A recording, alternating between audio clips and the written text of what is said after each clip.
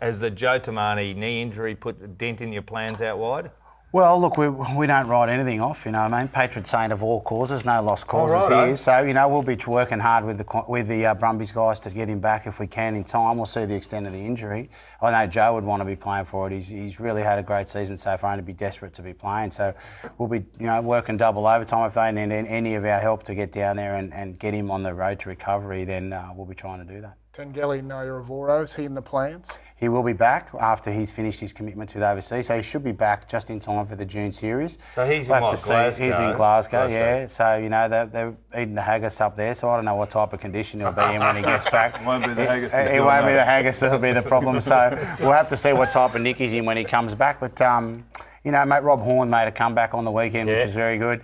Uh, but I, I haven't been uh, like he's new to the game uh, and playing here. But I, I've been happy with Nabuli just the way he's coming along. He's he's starting to get a bit more action. And there's you know, Luke Morahan will be back playing for the um, uh, Western? Force this Tomorrow, weekend. He's had Friday some night. problems with DVT, I think, so he'll be back.